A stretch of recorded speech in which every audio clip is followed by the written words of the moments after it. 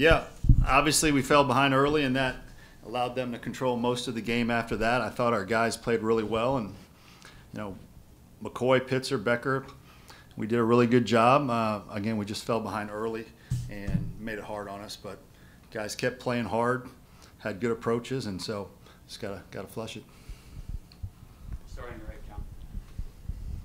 I mean, you mentioned the control tonight. They've been in control of both of these games so far this series. Are you surprised at the way your team's played in, in such a critical series?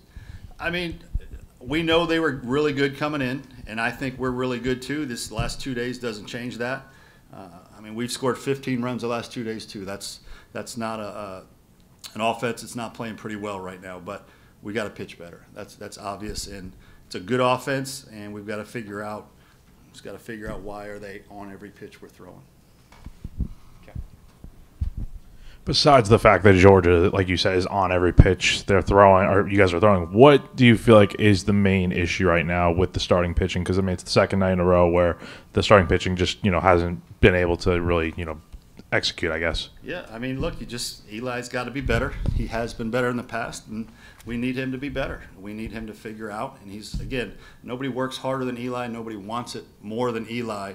Um, but he's just he's just not as good right now as he was earlier in the season, and, and we need him to be. So we have his back. Uh, we'll continue to, to give him opportunities, um, but we need we need better than Eli. He knows that. We know that, and, and we have his back through that.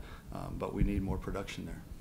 Go back to John. and then Al. With Eli, I, I know we've asked you this before, and the answer was no. But the, his moving him off of the opening game had an effect on him mentally, physically. Any any anything to that? No, no, no. Uh, Will Tippett back for the first time in almost a month tonight. Do you see a possible lineup shakeup tomorrow after we hit the homer, or what do you kind of see from Tippett? Well, I wouldn't call it a lineup shakeup. Again, this this team we're we're rolling out there right now is averaging 10 runs a game for the last three weeks. So, uh, shakeup would imply that we're going to move two or three guys. Um, does Will Tippett deserve to play? Um, he played pretty well tonight. I'll leave it at that. Got two for you, Mark. With Pitzer, uh, just first off, what did you think of the job he did tonight? And then you pulled him with 36 pitches. I know he's gone more pitches in the past and stuff. What was kind of the thought process behind taking him out there and going with Becker? Yeah, he was he was at the end. I mean, Matt Williams does a really nice job of knowing where guys are in terms of how many pitches they've thrown and, and to the naked eye does it look like they're running out of gas? And matt generally has a really good feel for that. And he just felt like at that point uh, he had thrown enough And then with Eli, I mean, you said he just needs to be better and stuff, but what are you seeing over the last few weeks that has kind of led to his struggles? Because, I mean, it's kind of been like this for a few weeks now where he hasn't just been himself out there. Yeah, I mean the stuff's just not as, as good as it was early in the season. It's just not, and um, we've got to find a way to get it to where it was early in the season because it's just not. It's just not there right now. I, I would imagine you'd want to talk to Matt before naming a starter for tomorrow. Is that right? Correct. Uh, is is Dylan available? I, I know you mentioned Yeah. that he's had a little elbow thing, or, or not elbow Yeah. thing, but a little arm thing. Yeah, he was stiff last week, which is why he had to come out of the game pretty quickly last week. Uh, but he is available. Obviously, Gainey's available. Has not thrown a pitch yet, and and we stretched him out last week, so we've got some good options for tomorrow. Yeah.